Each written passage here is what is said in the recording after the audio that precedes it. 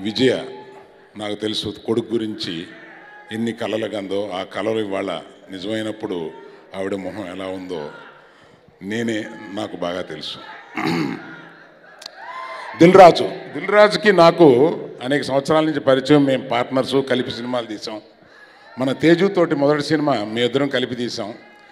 దిల్ రాజుకి ఎన్ని కితాబులు ఉన్నా అవన్నీ ఇక్కడ విడిగా చెప్పాల్సిన అవసరం లేదు కానీ ఒక్క విషయం దిల్ రాజు గురించి నేను చెప్పగలను. మా మా ఫ్యామిలీ ప్రొడ్యూసర్ ఇతను. ఎందుకంటే బన్నీకి ఆర్య ఇచ్చినాడు. తర్వాత ఒక హీరో గురించి తన కెరీర్ గురించి ఇంత జాగ్రత్త తీసుకుంటూ అతనితోటే నేను ఇతను కలిపి మొదటి సినిమా తీసిన ఆ తర్వాత రెండు సినిమాలు వర్షం తీశాడు. రాజు బయటకు కూడా అవకాశం ఈ బాబు.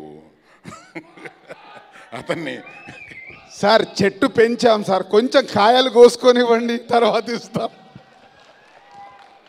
అట్లాగే రాసి అందరినీ వీ లవ్ యూ అన్నావు. నేను మటుకు నేను ఐ లవ్ యూ అంటున్నాను.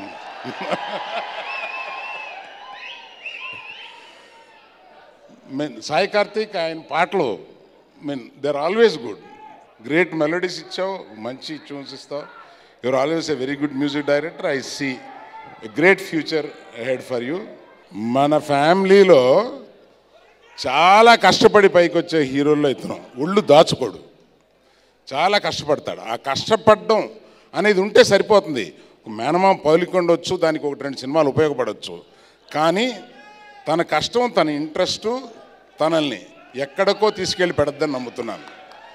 For sure he's going to fly high for a long long time ఆ లక్షణాలన్నీ ఉన్నతను.